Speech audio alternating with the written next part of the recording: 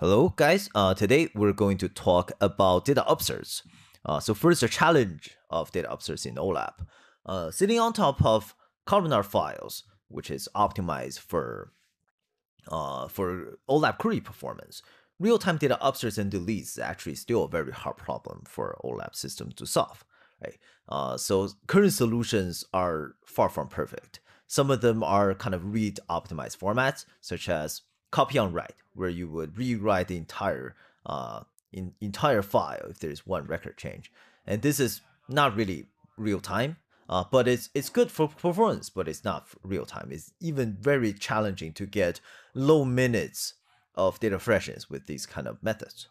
And the second one is exactly opposite, a write optimized format such as merge on read, where you would write your data files, write your data into multiple versions, and merge them during query execution or in the background uh, compaction job, right? This is great for uh, data freshness, but it heavily affects query performance because the merge operation is extremely expensive.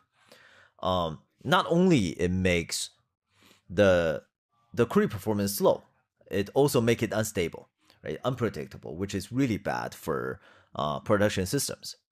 And one strategy that has been proven to work is the new delete and insert strategy.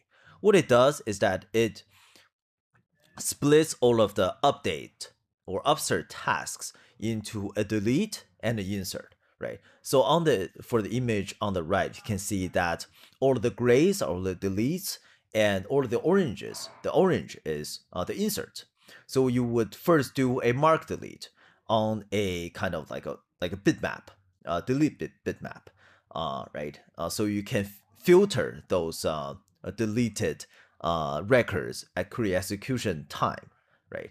And also uh, insert uh, the rest uh, of all of the inserts that go into a separate, a new file, a new data file, right? And this mark delete process can be pretty expensive as well. So typically there would be a primary key index that that is implemented to accelerate this mark delete process, right? The pr primary key index would store, would map um, your primary key, the hash of your primary key, to wherever that record is stored on your storage, right? So makes uh, the mark delete cheap and efficient. So because there is no merge operation uh, in this whole process, so you get the best possible uncompromised query performance with this, right? And also you can get second level data upserts directly, you know, on your columnar storage. It's because uh, the mark delete process is very efficient, right? And when compared to a solution that requires a row oriented index or storage to do real-time upserts, it requires only fraction of the storage because everything still is stored in a columnar format, which is great for data compression, great compression ratio, right? And there's one real world example from Airbnb. Um, Airbnb's fraud detection um, uh, scenario to protect their user and their platform's interest. Um, Airbnb's data scientists they have to detect uh, those violations, those fraudulent activities, um, to reduce potential losses and also to protect their brand. And this is a very difficult problem to solve for the following reasons. So first, it has to be real time. They have to catch those violations uh, fast enough, right, uh, before it happens. So a second level data freshness is required. And also they have to support mutable data because just because of the kind of data they're dealing with, right? Just for example, Airbnb status or their, so their hotel status and their transactions and you know all of them are mutable. They have to support that. And also they, they want really good query performance on very complex kind of ad hoc like queries.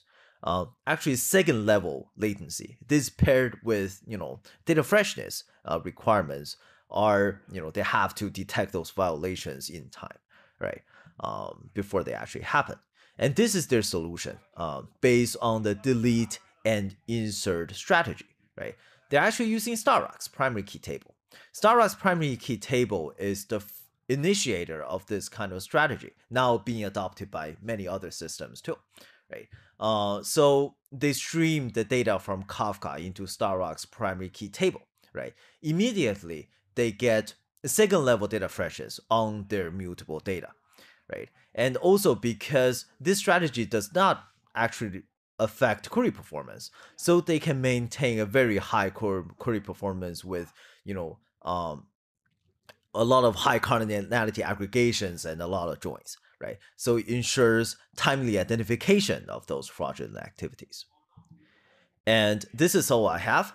And now is actually the time to embrace mutable data. You don't really have to run away from uh, real-time analytics just because you know you have mutable data. And you can check out StarRocks, you know, the initiator of this uh, delete and insert strategy, right? Join the Slack channel, check it out on GitHub.